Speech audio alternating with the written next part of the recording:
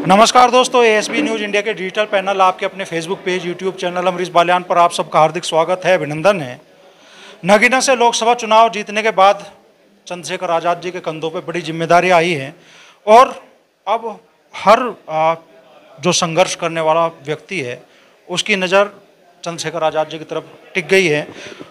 एक बड़ा रास्ता चंद्रशेखर आज़ाद जी ने संघर्ष का तय किया और अब राजनीतिक तौर पे कामयाबी मिलने का भी सफ़र शुरू हो गया है तो आने वाले दिनों में चंद्रशेखर आज़ाद जी की राजनीतिक योजनाएँ क्या हैं और किसानों की, पिछड़ों की, दलितों की आवाज़ उठाने के लिए वो किस रणनीति पर काम करने वाले हैं, वो आज उसी मुद्दे पर उनसे चर्चा करेंगे।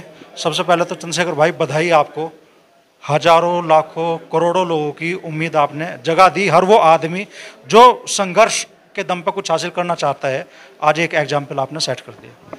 अमरीश भाई मेरे चुनाव से एक बड़ा काम ये हुआ कि जो लोग इस बात से डरते थे कि अगर हम किसी फलानी पार्टी का टिकट नहीं लाएँगे, किसी फलानी पार्टी में दरी नहीं बिछाएँगे, चाटुकारिता नहीं करेंगे, किसी की गुलामी नहीं करेंगे तो हमें अवसर नहीं मिलेगा। ये जो लाइन थी एक, ये जनता ने ख़त्म कर दी। उन्होंने, जनता ने ये स्पष्ट कर दिया कि अगर कोई काम करेगा ईमानदारी से और जनहित के लिए संघर्ष करेगा तो जनता उसको वोट की ताकत भी देगी, उसको चुनाव लड़ने के लिए पैसे भी देगी उसको जिता के भेजेगी। तो मेरे जैसे हज़ारों एक्टिविस्ट जो देश भर में काम कर रहे हैं, उनके अंदर बहुत बड़ा मनोबल पैदा हुआ और आप इसका इसका एहसास देखना आने वाले समय में, इससे जो बनेगा वो ये है कि और तेज़ी से लोग काम करेंगे और जनता के मुद्दों पर मुखर हो गए लोग आवाज़ उठाएँगे। ना जाति, ना धर्म, ना तमाम तरह की किसी और चीज़ का बैरियर अपने दिमाग में रखेंगे और वो मेहनत करेंगे। इससे जनता के मुद्दों पे आवाज़ मुखर होंगी और सरकारों को जवाब देने पड़ेंगे।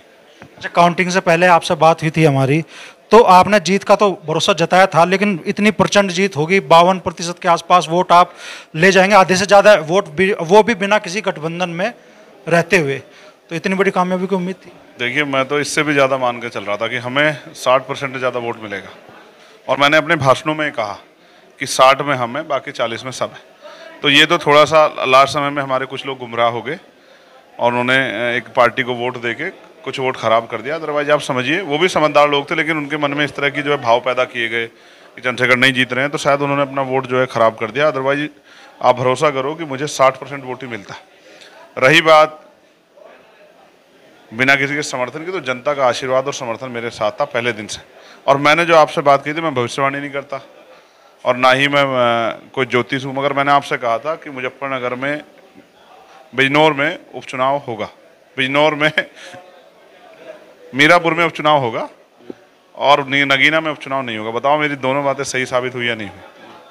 तो मुझे अपना भी एहसास था और आसपास की सीटों का भी एहसास था कि इस पर क्या परिणाम होने वाले हैं। और एक सीट के बारे में मैंने आपसे जानने का प्रयास किया था। आपने मुझसे कहा था, मगर मैंने आपसे कहा था कि मुझे कम उम्मीद है। तो मैंने, क्योंकि हम धरातल पे हैं और हमारे पास संगठन है, आसपास का सर्वे करके हमने देख लिया था, जो हवा नगीना से चली थी बदलाव की और जो नगीना से एक विरोध सरकार के प्रति पैदा हुआ था, उसका आसपास पहले चरण में अगर आप देखोगे, पहले फेस में दूसरे फेस में तो आपको पता लग जाएगा, सहारनपुर हो कैराना हो, मुजफ्फरनगर हो, और नगीना हो, या फिर मुरादाबाद हो, या फिर जो है संभल हो, जितनी भी सीटें थी मैक्सिमम, सारी सीटों पे ना के बराबर भाजपा लाइन्स और विपक्ष जो है जीता। ये उसी सीट का प्रभाव था क्योंकि जहाँ तक भी हम कोशिश कर रहे थे कि सत्ता का जो दमन है उसको सबक मिलना चाहिए। हमने उस पर अपना काम किया और वो सफल भी रहा। बावजूद इसके आप आ, कह रहे हैं कि पश्चिम उत्तर प्रदेश में नगीना से जो हवा चली उसने सभी जगह सर डाला। कैराना मुजफ्फरनगर सहारनपुर और आपकी अपनी सीट भी। इसके अलावा दूसरी सीट आप गिना रहे हैं। लेकिन क्रेडिट देने के लिए तो कोई तैयार नहीं आप। क्या फ़र्क पड़ता है? काम होना चाहिए। देखो क्रेडिट की चिंता वो करेगा, जिसको क्रेडिट से कुछ चाहिए। ना मुझे कोई लोभ है, ना लालच है, और ना ही मुझे बहुत माला गिरवानी, मैं तो खुद भी माला नहीं पहनता हूँ। जो हमने किया, वो उनको पता है जो जीते, और जो हारे उनको पता है, और जनता को पता है। और बाकी लोकतंत्र यही है कि अगर कोई तानाशाही करेगा, या कोई अपने आप को ये मान बैठेगा, उनको हराया नहीं जा सकता तो वो हार सकता है। यही है लोकतंत्र।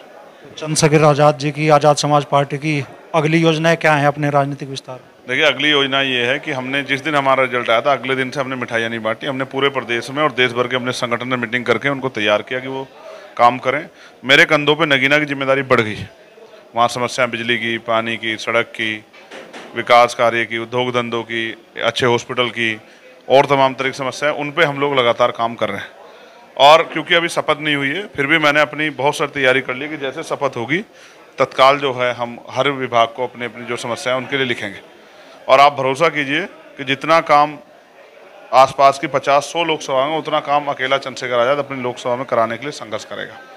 रही दूसरी बात, अभी हमने अपनी लोकसभा को एक, हम लोग उसको जो है एक मॉडल बनाएँगे। वहाँ हम लोग अभी एक नंबर जो है वो सर्वाइव करेंगे जनता में। किसी कोई समस्या हो, कहीं थाने की, कचहरी की, किसी दफ्तर की, कहीं और कोई समस्या कोई अधिकारी, कर्मचारी परेशान कर रहा हो, कोई कागज़ ना बन रहा हो, उन सब के लिए जनता कोई जाने की ज़रूरत नहीं। हमारे कार्यकर्ता वो फ़ोन रिसीव करेंगे और खुद से जाके जो है जनता की मदद करने का काम करें। जनता को जो पहले से राजनीति में होता आया कि लोग वोट लेकर ढूँढने नहीं मिलते, वो समस्या जनता की दूर होगी। अभी भी मैं चार दिन अपनी लोकसभा में रह के आया और फिर जो है बहुत जल्द जो है तेईस तारीख को फिर लोकसभा क्षेत्र में जाऊँगा, फिर सेशन के बाद जाऊँगा।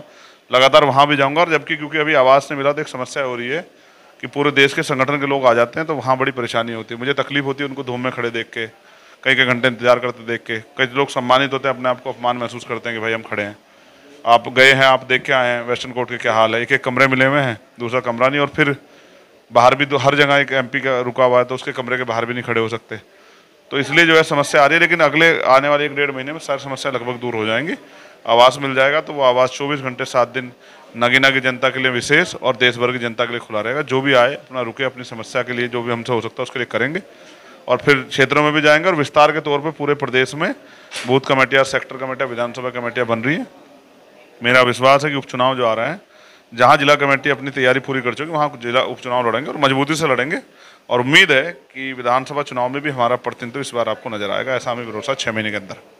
अच्छा चौबीस तारीख से संसद सत्र शुरू हो रहा है तो ऐसे कौन कौन से मुद्दे हैं जिन्हें चंद्रशेखर आज़ाद आवाज़ देंगे संसद में? सबसे ज़्यादा ज़रूरी मुद्दा तो ये है कि जो नौजवान हैं वो परेशान हैं। पहले तो भर्ती नहीं आती और अब तो परीक्षाओं के पेपर ऐसे लीक हो रहे हैं। हमारे देश के प्रधानमंत्री उन्होंने बहुत बड़े बड़े युद्ध रुकवा दिए यूक्रेन वाला युद्ध रुकवा दिया ऐसी ऐसी चर्चाएँ हैं लेकिन वो पेपर नहीं लीक होने से रुकवा पा रहे हैं। नीट का देखिए पेपर जो है उसमें चोरी होगी, नेट वाले में जो है देखिए साहब चोरी होगी है, और पुलिस भर्ती में होगी तो हम कोशिश ये करेंगे कि सबसे पहले नौजवानों के रोज़गार की व्यवस्था हो। फिर उसके बाद एजुकेशन सिस्टम में जो है, जो रिफॉर्म हम चाहते हैं, उसके लिए हम लोग चर्चा करेंगे। समान एजुकेशन पॉलिसी। हेल्थ सेक्टर में जो, क्योंकि आज मुझे मेरी लोकसभा क्षेत्र से फ़ोन आया कि भाई हमारे यहाँ सबको सबने मना कर दिया तो हम एम्स जाना चाहते हैं। तो मगर आज एम्स में उस तरह की व्यवस्था नहीं करा पाया तो मैं सोचता हूँ, और मेरा प्रयास भी कि हमारी लोकसभा में एक एम्स बने। जो आसानी से हमारे वहाँ के लोगों को इलाज मिले। और फिर किसानों की, महँगाई की उसके साथ जो है कानून व्यवस्था में जो खामियाँ हैं, भ्रष्टाचार जो रहा उन सब पे सामाजिक न्याय की जो जो भी उम्मीदें हैं, चाहे वो जातिगत जनगणना हो, चाहे प्रमोशन रिजर्वेशन का मामला हो, सब चीज़ों पे हम लोग आवाज़ उठाएँगे। किसानों की जो बाढ़ की, बाढ़ से अभी बहुत नुकसान होने वाला है, बरसात आने वाली है तो किसानों की समस्या के हल के लिए, तटबंध बनवाने के लिए, तमाम चीज़ों के लिए, उसके साथ साथ बिजली की समस्या, बिजली कटौती हुई, उस पर भी हम लोग काम कर रहे हैं। हमारे यहाँ मांग भी करेंगे कि बिजली के रेट कम किए जाएँ। बहुत महँगी बिजली हमारे लोगों को मिल रही है। तो जब करोड़ों रुपए पूंजीपतियों का माफ़ हो तो किसानों का बिल भी माफ़ हो सकता है, आम आदमी का बिल भी, गरीब है, उनका माफ़ हो। सब चीज़ों पर हम बात करेंगे और कोशिश करेंगे कि जल्द से जल्द एमएसपी की घोषणा भी हो जाए, किसानों को फ़सल के उनको उचित दाम मिल जाए। तो हमारा प्रयास है कि बहुसंख्यक रूप से हर वर्ग को जो है लाभ मिले और उनकी समस्याओं को हम लोग जो है चर्चा पर जाएँ। और एक जो मैंने मांग उठाई है, ये मैंने चुनाव के बाद उठाई। देखते हुए हालातों को चुनाव से पहले नहीं कि लोग मुझे सपोर्ट करें कि पुलिस के साथ जो है, जो जुल्म हो रहा है तो उसको बंद करने के लिए पुलिस की जो ड्यूटी है, वो आठ घंटे करनी चाहिए उनको सप्ताह में एक दिन छुट्टी मिलनी चाहिए और बॉर्डर स्कीम से उनको जो है बचाना चाहिए और वेतन विसंगता उनकी दूर करनी चाहिए। तकलीफ़ में है वो लोग, उनकी उनकी कोई ना यूनियन है, ना कोई उनकी सुनवाई कर रहा है। क्लास वन अफसरों की तो यूनियन है बेचारे की उनकी चाहे इंस्पेक्टर हो, चाहे जो है वो एसआई हो, चाहे सीनियर एसआई हो, चाहे हेड कॉन्स्टेबल है कॉन्स्टेबल इनकी कोई नहीं सुन रहा है। तो इनके सुनने के लिए भी हम लोग प्रयास कर रहे हैं कि इस विषय को हम लोग पार्लियामेंट में और जो कास्ट एट्रोसिटी बढ़ रही है और जातीय धर्म के नाम पर हिंसा रही है उस पर भी रोक लगे इसके लिए भी हम मज़बूत आवाज़ उठाएँगे। अलीगढ़ में आपने कहा कि भाई आप भले ही सांसद बन गए लेकिन सड़क पर भी संघर्ष जारी रहेगा। हाँ जारी। अभी हमें करके आपने देखा और आगे भी जारी रहेगा। अब थोड़ा समय पार्लियामेंट में खर्च होगा क्योंकि पार्लियामेंट के साथ कार्रवाइयों के साथ बहुत सारे लिटरेचर और बहुत सारी जो है लेटर और उनका डिस्ट्रीब्यूशन होगा और वो भेजने पड़ेंगे तमाम और मिलना पड़ेगा अधिकारियों से। वहाँ समय जाएगा बाकी सड़कों पर ही है। अभी तो बहुत लंबी लंबी लड़ाई इस, इस कारवा को बहुत दूर तक ले जाना। महापुरुषों का कारवा बहुत अधूरा है साहब। हम पश्चिम के लोगों को मज़ाक उड़ाते हैं पश्चिम के लोगों की वहाँ कुछ है नहीं वहाँ को क्या कुछ मिलना चाहिए। क्या है हमारे यहाँ? आप बताओ। कौन सा एक एक इंडस्ट्रियल एरिया बताओ जहाँ से लाखों बच्चों को रोज़गार मिल रहा हो। तो क्या यहाँ के बच्चे बेरोजगार नहीं है? क्या समस्या नहीं है? सहारनपुर में कैराना में मुजफ्फरनगर में बिजनौर में मेरठ में क्या समस्या नहीं है? यहाँ अच्छा स्कूल कॉलेज यूनिवर्सिटी की ज़रूरत नहीं है क्या? यहाँ स्पोर्ट कॉलेज ज़रूरत नहीं है क्या यहाँ प्रतिभा नहीं है क्या? सब कुछ है यहाँ लेकिन हमें नंदाज किया गया है तो हम लड़ेंगे। हम पूर्व के लिए भी लड़ेंगे तो पश्चिम के लिए भी लड़ेंगे। अच्छा उपचुनाव आने वाला है आज़ाद समाज पार्टी की क्या तैयारी है? बहुत मज़बूत तैयारी है। अस्सी परसेंट बूथ कमेटी आज मीरापुर में मुरापुर में तैयार है। अगले पाँच दस दिन में नब्बे हंड्रेड परसेंट बूथ कमेटी होगी और जिस दिन चुनाव होगा आप देखना लगभग चालीस हज़ार से ज़्यादा वोट से जीतेंगे। ऐलान। अब मैंने आपको मेरे ऐलान आप जो कभी झूठे होते नहीं आप जानते। मैं फिर आपसे कह रहा हूँ ऐसा हो सकता है आज़ाद समाज पार्टी को हराने के लिए सब लोग एकजुट हो जाएँ। लेकिन आज़ाद समाज पार्टी मीरापुर विधानसभा चुनाव उपचुनाव जीतेगी। ऐसा मेरा दृढ़ विश्वास है।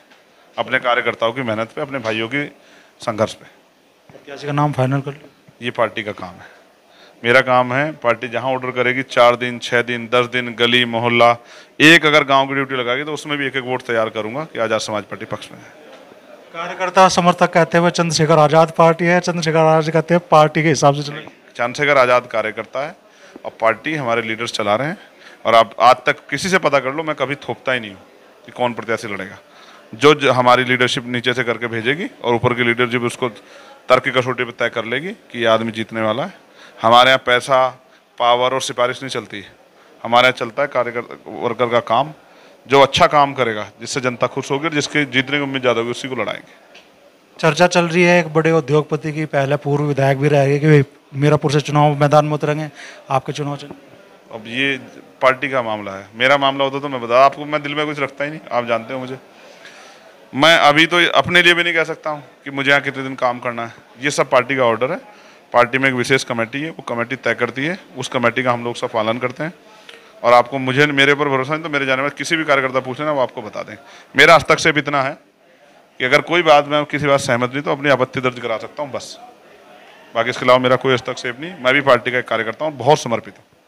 पुराना दोस्ताना रहा आपका जैन चौधरी से अब जैन चौधरी की ये सिटिंग सीट है। चुनाव में आमने सामने? देखो दो सगे भाई भी एग्ज़ाम की तैयारी करते हैं। एक को नौकरी मिलती है एक को नहीं मिलती लेकिन उनमें झगड़ा नहीं होता। तो वो अपना काम करेंगे अब वो दूसरी विचारधारा के दलों के साथ मिलकर आगे बढ़ रहे हैं और हम अपना काम करेंगे। लेकिन क्योंकि हम इस क्षेत्र के हैं तो भाईचारा अपनी जगह है और चुनावी लड़ाई अपनी जगह है। तो जो साथ खतौली में साथ थे दे दी थी ये हम आज़ाद समाज पार्टी को दिलाने की कोशिश करेंगे। बड़ा बयान चंद्रशेखर आज़ाद जी दे रहे हैं कह रहे हैं कि मीरापुर उपचुनाव के लिए पार्टी की तैयारी पूरी है और पार्टी इस बार यहाँ चालीस हज़ार वोटों के अंतर से जीत हासिल करेगी। ये दावा उन्होंने किया और साथ ही कही है आ, बात कही है कि 24 तारीख से जो संसद सत्र शुरू होगा उसमें जनहित से जुड़े मुद्दों को चंद्रशेखर आज़ाद अपनी आवाज़ देंगे।